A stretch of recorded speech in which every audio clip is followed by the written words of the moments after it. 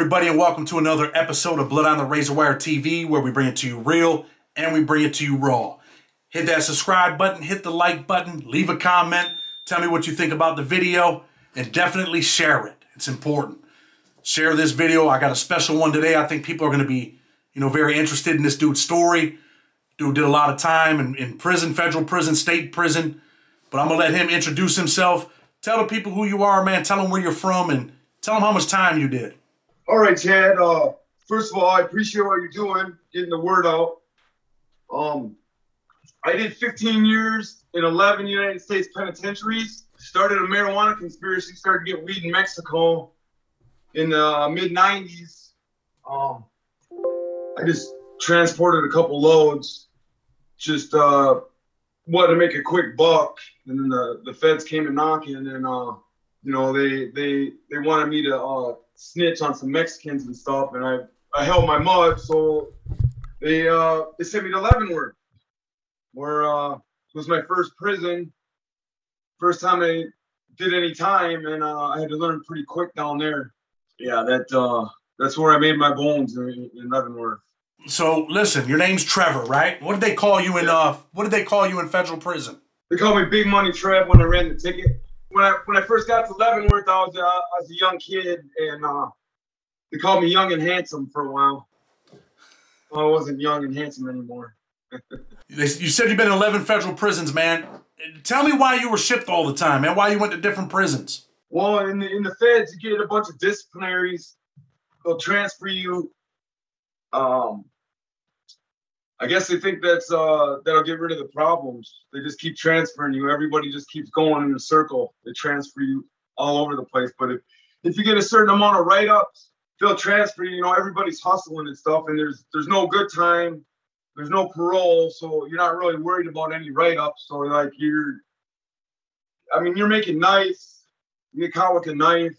Uh, you're running tickets. You're making moonshine. You're making wine. You're doing dope, you're getting dirties, just whatever fights, this politics. You know, if, if a rat hits the yard, you got to smash them. And so you just you get about three write-ups, three major write-ups, and they'll they'll want to get you out of there. Or it depends what you do. If you stab somebody, they'll, they'll get you out of there.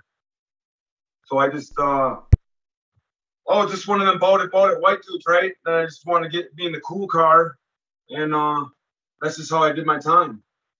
Let me ask you this, Trevor. So, you know, you were in federal prison, man. You were kind of involved in all the, I guess you could say, all the dirty aspects of being in prison. You go in, you're young, kind of a big dude, and you didn't have a problem putting in work, right?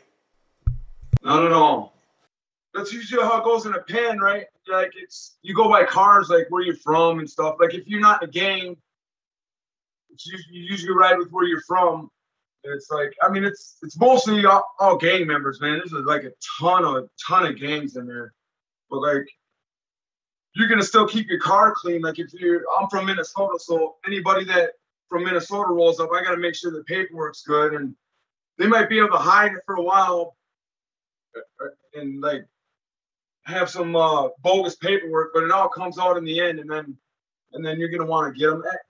Everybody, everybody like after rats, right? Because they've all been ratted on, so they don't even care who they get get backs on. They don't even have to get get backs on the people that ratted on them. They just anybody. So if a rat hits the yard, you got five, ten white dudes raising their hand. I want to get them. I want to get them. I want to get them. Putting in work is the thing to do, I guess. You know. Let me ask you this, right? So putting in work. I mean, you did you put in work while you were in there, right? Absolutely. I put in mad work, everything. Even when I didn't go looking for it. This is what I want to know. When you say putting in work, what were some of the things that you had to do in federal prison, man? Keep it real with the people.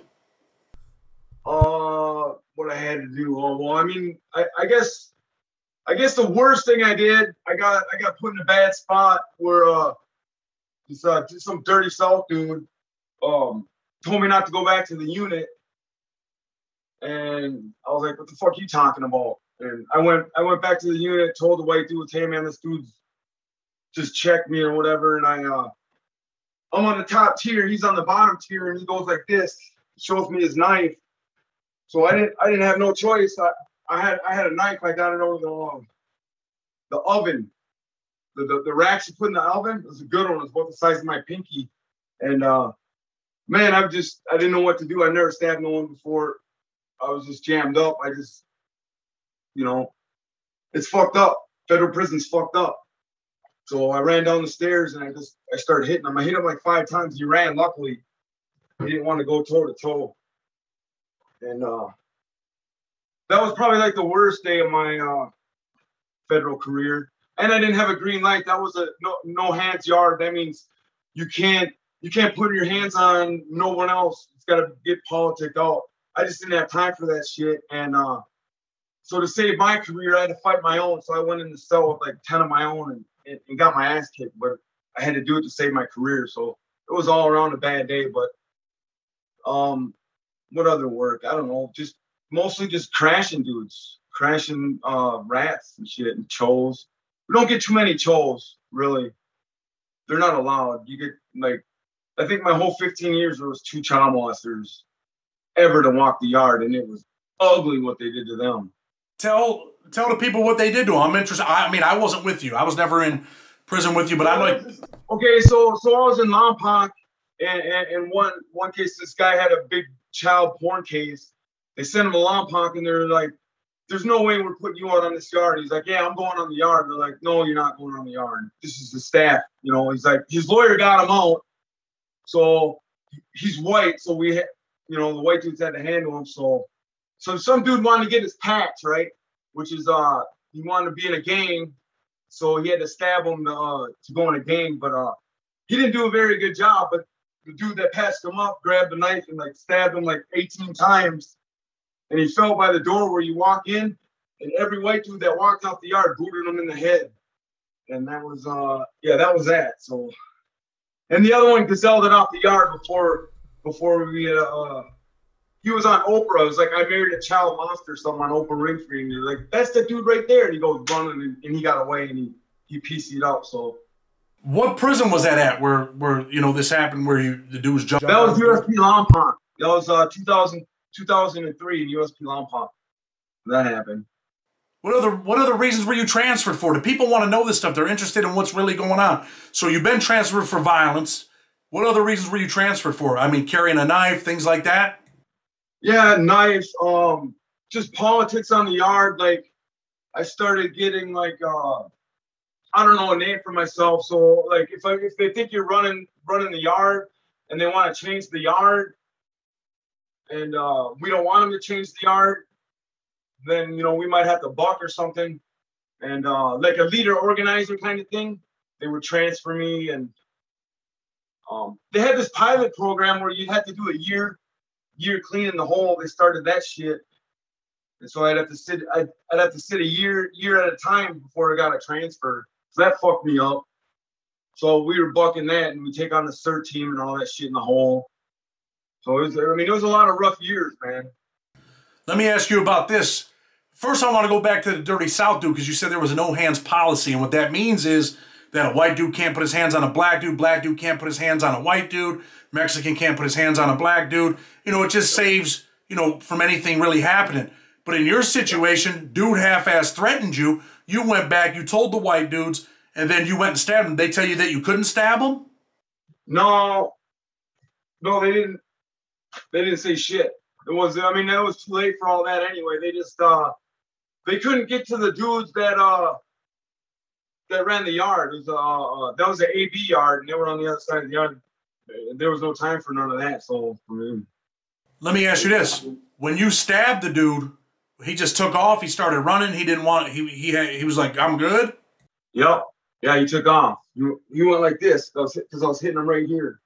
And then and then it was like all the black dudes lined up, all the white dudes lined up, and it's like you know, I mean, basically just to stop the riot. You know, I tell it's called taking a hot one. I took a hot one, which I had to, uh, I had to fight my own shit. But uh, yeah, that was uh, that was that was, that was a bad day for me. Oh yeah, I want to ask you about that. So the white dudes are going to discipline you to stop any type of race riot. So they take you in a cell. Right. I mean, did- I mean, how bad they beat you up? Oh, oh, pretty good. Yeah, I got, I got, I got smashed pretty good. I guess I was mad about it, you know, because they were my dudes, right? I thought it was a little, little, little too bad, right?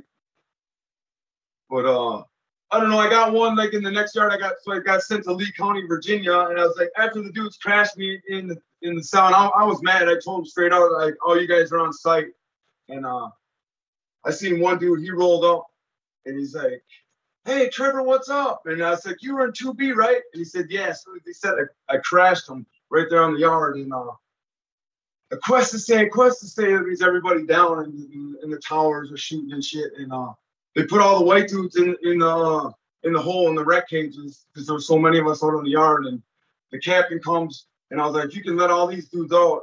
And he's like, "Why?" And I'm like, "So he says, all right, keep York and let everyone out." I got a couple get backs, but uh, yeah, that's that that's life in federal prison homes. That's that's daily shit. That's all it is. Is violence every day, dude. It sucks. Did you go back on the yard uh, at USP Lee, or they transferred you? No, I went back. I went. I went. I went back on the yard. Oh, they. So they let the other dude out, but then I had some. I had some comrades on uh, on the yard, and they chased him off. He ran off the yard and shit, and they let me out. But uh, I don't know. I fucked it up a couple months later or whatever. They they put me on like a two hour watch card, and uh, I don't know. I fucked it up or something, and they they transferred me to uh where'd I go? I went to Allenwood, Pennsylvania in 2008. I know you say federal prison sucks, man, because all the violence, the things that you've seen. You ever seen? You ever see anybody get killed in there? No, I didn't see anybody get killed. I just, I mean, I seen a lot that were pretty close. I've seen a dude get airlifted. Um, so in Leavenworth, this was the Hawaiians. It had nothing to do with me. It was the they call it the Islander car. And this dude, he's like, he got accused of stealing a radio or something. And he's like, he told the two shot callers, they got the straight killers, got bodies and shit. He's like, go get your shit, punk. So I was like, oh my god. So this dude Larry, he went. His name was Hawaiian Larry, and he, he went and got a, a National Geographics, and he taped them onto his body, right? And he put some locks on a belt, and he went down there, and he was uh he's swinging away at him. He's, he's, fighting too, but they they had they had knives. The uh, Eli had the uh, lawnmower blade or the lawnmower, and he was just stabbing him, and you could just hear it. And they all got tired, right? Larry, he didn't run. He sat he, he sat there at bottom, right? He was putting in work with the locks, but they got tired. And then Dan looked at Eli. He's like, "We gotta kill him." And Larry goes running, and there's just there's one female cop. She's working, and Larry goes running up to her. She she goes, ah! She locks herself in the bathroom. So Larry's got to kick the phone and he's fighting them off with the phone and shit, waiting for him to come with the guns and shit. And uh, he uh, he got airlifted out of there, but he lived. He lived. But I just all the gang fights and shit. I seen the uh, G27s and the Latin Kings go at it, and they would fight. They fought for a fucking hour. They t- they were taking broomsticks and slicing slicing each other up. One one Latin King, he could put his tongue through his fucking cheek, through his whole cheek. And that shit's uh I mean, that's all day home head on a swivel. You know, you still didn't boot it when the doors pop. Shit, you don't know it's gonna pop off, dude, you know. Definitely a dangerous place, man. You've seen some dangerous things. I want to know this. Do you think it affected you mentally and emotionally? Because I see you got that tattoo on your arm says hate. Do you think the things that you've seen in prison, man, affected how you live, man, and, and, just your everyday life? Well, absolutely. I'm just uh I'm just a Stillwater kid, man. It's it's uh I got to Leavenworth and uh dude, it was culture shock. I walked into the chow hall that first morning and it's like I didn't have one tattoo. I didn't have one single tattoo. And when I walked into chow hall in Leavenworth, it's just people from the top of their heads, and it's everybody's tatted back. So I, I felt naked. You know what I'm saying? I felt completely naked. I didn't have no tattoos. And then you just get in, you just get in where you fit in and you just get drunk and dude's like, oh, I want to put a tattoo on you. And and that's how all my tattoos came about is just a, I got them all free from my homeboys. We just got drunk and uh got tattooed on, you know, all free and drunk. I want to ask you this, right? I see a bunch of tattoos. Were you ever tipped up? No, I was never tipped off. I mean, they all tried to tip me up and shit, but I just, uh, I don't know. I just figured I went in nothing. I, I, I come out nothing, but, uh, you know, I, I rode with them, you know, I ride with, uh, it's just, it's basically federal prison segregated. You know, you got the blacks, Mexicans, whites, and they're all like, you you live with each other. Uh, or like, it's all segregated. The chow hall out on the yard, the tables out on the yard, shit. How you do business and shit. You really gotta like. The Sureños don't do no business with the blacks, so you gotta like. I ran poker tables, right? I was just trying to make money, so I'd have to have a different table where like the blacks couldn't play because the Sureños were there and uh, shit like that. It's just it's it's that's just the way it is. It's just it's everything's just segregated. Definitely a different place, man. Not a place that people want to spend their life, right? Oh, absolutely. It's it's uh I mean, you got the camaraderie, you know what I'm saying? You you that's your homies, you know what I'm saying? And you look at them for your, you know, protection in everyday life. You know what I'm saying? So you got that. You got the partying and shit. But I mean, I've heard people say, Oh, I want to go to the feds. I want to go to the feds. And I was like, Oh my God, you guys are crazy. Maybe in a low or an S guy. I mean, we call them, I mean, them dudes are fuckboys. That's that's fucking lame bill, right? You come to a pen and it's not, oh hey, I want to go to the feds. It's fucked up. You're suited and booted when the doors pop. You know what I'm saying? They pop at 6 a.m. You gotta have you gotta be ready to go. You don't know what's going on and that's that's just no way to live. You see that violence every day. There's just like everybody takes takes care of their own cars, and you'll be just walking, and right in front of you, dude will be getting stabbed and and fucking jumped and and all that. It's just uh, no, I got, I don't know, I see a lot of violence. So I mean, it, it it's affected me, but I don't know. I'm just I'm trying to move forward, you know. What was what was one of the worst things you ever seen in the feds? Not that you did, but what was one of the worst things you ever seen? Was it that thing with the Islanders?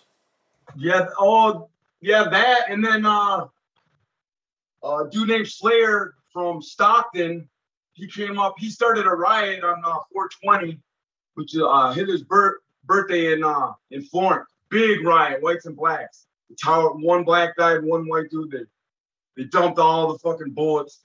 Couldn't even shoot no more. And uh, so they got case. All the white dudes that didn't fight, they put all the white dudes in the gym, and the white dudes that didn't fight, they got crashed. And, and so the white dudes that crashed them, they got cases. And so when they went to court, it come out this dude had a fucking sex case. And uh, you know, he was my friend. I was with him in USP Atwater. So when the, the paperwork came out, I was in McCreary and it was like, we, we got to get this dude. And I was like, oh, that's fucking Slayer. It's my dude. And I was like, I, I can't do it. But uh, whatever. I watched it and it was uh it was Big Jerry, which is one of the biggest white dudes you'll ever see. And uh he just walked up and he, he and he broke his face. He broke his whole face and socked him. And then uh, when he when he fell out, another dude started stabbing him and shit. That was pretty bad. And Jerry just kept hitting him. I'm like, Jerry, get somewhere, because the deuces came. They were all running and shit. But uh, yeah, that was pretty. He didn't even know what happened to him. He thought he thought the blacks did it or whatever because uh, he got wired shut. And he's like, "They broke my jaw." So that that was that was pretty bad. The whole yard stopped when Jerry hit him and his face shattered. The whole yard just stopped and looked and was like, "Holy fuck!" That was that was that was that was pretty gruesome. Hey, I want to ask you about that. I didn't know you were in Florence for that race riot. No, no, no, no, Oh no. I wasn't in it for that. No, he was the dude. Slayer was. He started it. And then they got him in McCreary. Was he from Florida? No, he was from Stockton, California. I want to talk to you about this. You're out of prison now. You you, you got a job, a good job, right? Yeah, I'm working. Yeah. Got a nice girlfriend, right? Yeah, I'm on the grind. On the grind. Are you living a happy life now, man? Uh, I mean, I mean, I am now. I mean, it's weird. I, I kind of, it's hard to say. Like, I forgot about all that, but I remember at the same time. I don't know if that makes sense, but um, I guess I'm just, I don't know. I guess it's just my brain trying to get me to forget about that shit because it was such such a disaster. Um, but yeah, I just, I don't know. I might have a little bit of disconnect there, but I just, I just take it one day at a time and move forward. But yeah, you know, it's it's definitely destroyed my life, man. It's it's uh, I'm trying to learn uh, I guess forgiveness because because I got a lot of uh I got a lot of hate in my heart, man, from from federal prison, you know. Just on the dudes that told on me and shit. Do you think that the hate, man, in your heart affects your daily living? Does it affect how you, you know, deal with other people in normal day society? Yeah, absolutely. I'm getting better though. I mean, like when I got out, when I got out, it was like any any like okay, so I went to the club when I got out, and there's a lot of people, and I was like, oh my god, a lot of people. That if there's a lot of if you're bunched up like that, where I came from, the pens, it's gonna be a riot. It's a riot. So it's like I was like, oh, I don't like this. But just for a little while. And then I wouldn't look in, in people's eyes. I was like, I would look at their hands, you know. Um, I was, you know, just programmed to, to see if they had any weapons or anything, right? And and you don't want to you don't want to look people in the eye in a penitentiary because then like, what you, what do you mean mugging me for? You just you just don't do it, you know. You don't see you don't. So it took me a little bit of time, you know. I look people in the eye and like, oh, people are good, you know. So it, it just took me a little bit, but I still got some of that politic in me where, you know, I just, it, it affects my daily life sometimes, you know what I'm saying? Like, you can't do that. And it's just, you know what I'm saying? Like if somebody, if somebody says punk or bitch, oh, it's on. It's, it's a fight. And then when I don't see a fight, I'm like, what the fuck? You know, it's just shit like that, you know, because that's like you're not hearing punk and bitch in a in a penitentiary without uh, there's it's it's on. Soon, as soon as you say that, no matter what, it's on. And if you don't do nothing, then your dudes are gonna get you. Are you glad you're free, man? Oh man, I never. I I mean, I got 146 months is what I got when I got to Leavenworth. I had 146 months, and they were calling me short timer, and I'm like, what? I never thought I was gonna make it out. Uh, 12 years, I was like, oh my god, you know, because the average sentence was 30 years in Leavenworth. Everyone's just doing nothing but time. So it just, I just never thought I'd I'd get out. And then like you hit the halfway point, and then you keep going, and, and, and just do. But my release, my release was one of the worst releases ever. I'm I'm in the hole in McCreary, and uh, I'm getting ready to go to this halfway house, and they put me outside in the rec cage, getting ready to go. All of a sudden, the deuces go off, and uh, so I'm sitting there waiting. It's been a while. It's, uh, some DC dude stabbed the cop. So when the cops came back to the uh, to the hole, they're like, "I'm like, what do you mean no?" They're like, "Dude, we don't we don't think you're getting out." So I went from the highest of the high to the lowest to the low and like that, and I, was, I just got sick. I don't know. I asked the cop for a cigarette. I don't even smoke, but he's like, "Oh, don't come at me like that." And he's like, "I'll give you a phone call." And then I forgot I had I had my old lady picking me up at the Greyhound bus stop, and uh, I called her. I said I ain't getting out. She's like, "Hey, you're getting out right now." And then the lady comes running in. It's like, "You gotta go." They found someone that could release me or whatever. But yeah, it was uh, it was pretty ugly. It actually happened to me twice. I got I got a dirty in a halfway house and so I went back. They, they brought me to uh, they brought me to Terre Haute. Uh, I was keysing it up too. I made bank. Uh, I knew I knew I was I knew I was going, so I keysed it up. Anyway, uh, on that release, so I, I fucked up my halfway house time. But on that release, I'm ready to go. I'm standing at the door, and the cop gets in a fight with the inmate, and they're just fucking going at it right in the office. I'm like, no, not again. But I made it out then too. So yeah, I've had some fucked up releases for sure. Listen, as crazy as this might sound, man, I was in the same boat. They walk me to the gate. My family's there. I see them in the parking lot, and they call the cop on the walkie-talkie. And they tell him, "Hey, don't release him. There's an immediate appeal." And I was at the high highs. I said, "Man, after 17 years, I'm finally gonna walk out of prison, man." And then they stopped me, man. And I ended up sitting in there for another two, three weeks till the appeal was taken care of, interlocutory appeal, and they released me. But man, that is a sick feeling to have, Trevor. Yep. Been there. Yeah, I've been there. Ooh. I want to ask you this, right? Because you are out here living a law-abiding life, man. I can tell a little bit, man, that prison affected you. And, you know, you can see it in the video. You can see it when I talk to you. You're high-strung, you're hyper, but you're free, man. And I'm sure you got a message, man, for kids, man. Young kids that are on the wrong path. What would you tell them from your experiences in life? What would you tell them? Man, I would tell them all money is not good money, man. That's just I just wanted the money. I never thought it was gonna end, and just it was fun buying the gold chains and the clothes and all that shit. All that shit. When the feds come knocking, they're taking everything. They're sending you to some badass places, and it's not gonna be fun. And you're gonna get put in positions that you do not want to be in uh, on the regular.